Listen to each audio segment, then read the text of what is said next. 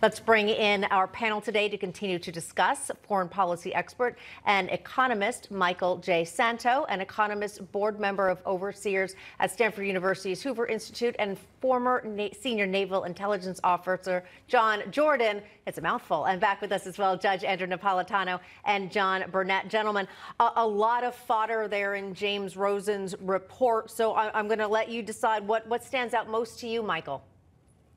Well, I think that what we see is a very strong commitment on the part of the and Michael froze. All right, so I'm going to go uh, toss it to you, John Jordan. What specifically stood out there in um, uh, John? In um, sorry, and uh, James reporting for you? First of all, the administration saying that there's no evidence of Iranian involvement. That's because they don't want to find it.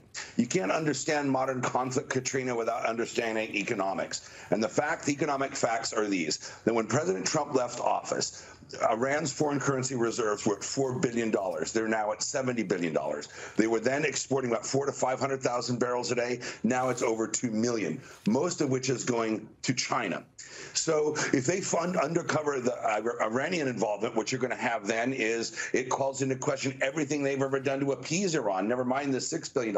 And given China's involvement with Iran and China's heavy engagement in the region, it stretches, uh, it causes one to believe almost the point of uh, have, that it, uh, it has to be that China may have known something about this because China has interest in destabilizing um, the West. So there's a lot to find out here, and this is willful ignorance on the part of the administration when they say they don't know, there's no evidence of Iranian involvement. Judge, I want to ask you, we, have heard officials now say, obviously, Americans have been killed over there in Israel. Those are American crimes now, correct? They could be brought here to the United States should we be able to catch these people. Yes, yes. The American government would take the position that uh, Hamas is not the government. It's not the government.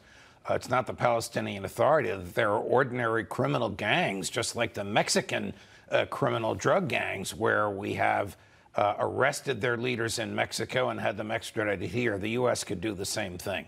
I don't know that these people will be around and will survive the quite appropriate uh, and enormous Israeli onslaught to take them out. But if for some reason they do survive the Israelis are not able to capture them, yes, the Americans could capture them, bring them here, and put them on trial for crimes committed against Americans in Israel. John Burnett, we're almost out of time here, but quickly want to get your thoughts on this. Um, that $6 billion, of course, uh, that uh, Iran has. It, it's interesting because we know that this administration, President Biden, has known about Hamas's connection to Iran for some time, but they still made this deal knowing that Iran supports terrorists.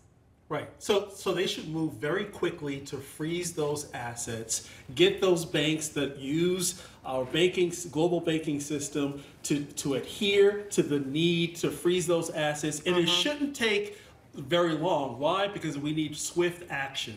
All right, we're going to leave it there. So I wish we had more time, gentlemen. As always, John Jordan, Judge Napolitano, John Burnett, please stick around with us. Thank you.